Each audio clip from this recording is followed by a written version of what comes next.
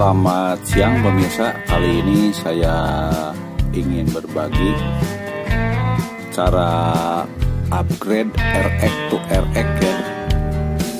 Ini receiver keluaran lama ya. Maksudnya pakai ini RS 232 ya. Untuk kabelnya banyak dijualan di pasaran dan khusus saya kali ini. Saya memanfaatkan ini bekas soket-soket yang dari televisi ya. Untuk kaki yang pertama dihubungkan langsung ke kaki yang pertama. Kaki yang ketiga dan keempat dihubungkan silang. Ini lubang yang paling bawah uh, kaki yang paling bawah ini uh, ada lima ya kita colokin ini yang kaki pertama masa kaki ketiga e, kalau tidak salah e, RX dan yang kaki yang keempatnya TX ya RX TX kita colokin ya.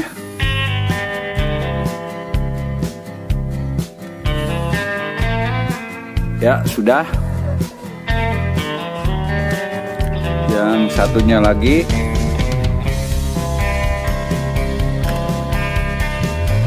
Dan untuk RX to RX ini uh, eh, RX yang kedua ini programnya error gitu ya.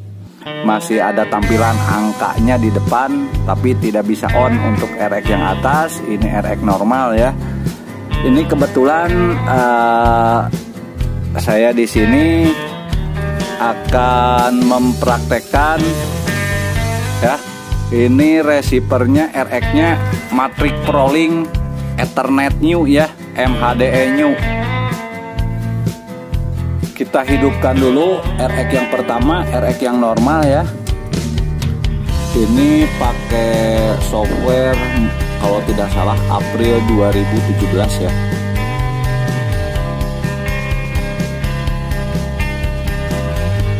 Nah itu ya udah tampil sudah masuk ke menu itu yang ada gambar obeng kunci ya kita mulai oke okay. nah ya ke ini ya ke upgrade RS 232 nah di sini oke okay. ini ya mode upgrade all dan mulai nanti setelah mulainya ditekan baru RX yang kedua di on kan ya checking serial port baru RX yang bawah atau RX yang kedua ditekan powernya. Dan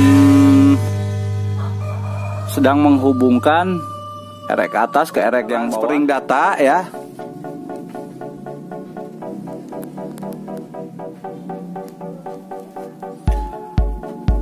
Ini sudah menunjukkan 2% itu ya.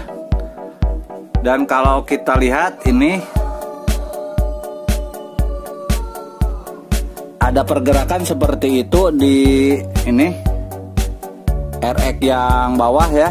Ada pergerakan dan proses sedang berlangsung. Ini erek yang atas menunjukkan 7 7% berarti sekarang 8%. Ini dibiarkan sampai berlangsung sampai 100% dan proses upgrade-nya ada dua periode begitu ya. Ini periode pertama atau tahap pertama sampai 100%. Kita tunggu nanti akan ada 100% yang kedua ya jangan dulu dimatikan uh, proses upgrade-nya ya ya proses sudah 98% 99 100 kita tunggu terus ya dan kita lihat ini di receivernya ya di RX-nya ya menunjukkan ND ini proses upgrade yang pertama ya tahap pertama sudah selesai dan kita biarkan saja jangan dulu dimatikan semuanya ya. Ada tahap kedua sampai 100% kembali RX yang ini menunjukkan persentase 9% yang ini eh, indikator bahwa proses sedang berlangsung gitu ya. Sementara di layar monitor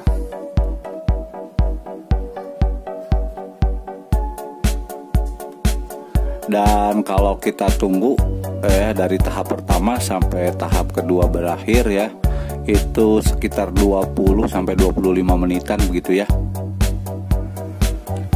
Ya sudah 98% sebentar lagi ya. Dan ya sudah berakhir kita exit saja receiver yang atasnya. Ya dan kita matikan ya keduanya. Kita coba on kan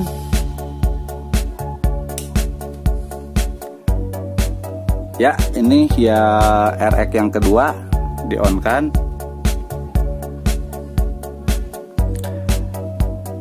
upgrade seperti ini bisa dilakukan khusus untuk RX yang sejenis ya. Untuk RX yang sejenis. Bila uh, eh, RX-nya hanya lampu biru yang menyala ya itu tidak bisa dilakukan dengan cara RX to RX itu hanya bisa dilakukan melalui plus memori ya. Dengan memakai alat yang seperti ini. Ini CH341 ya. Kalau proses RX to RX biasanya di sini hanya tampil sampai on ya tulisan on atau hanya logonya saja begitu ya. Kalau lampu birunya yang menyala itu harus di plus ulang. Demikian untuk sementara. Saat ini saya berbagi cara upgrade RX to RX ya. Terima kasih sampai jumpa di lain kesempatan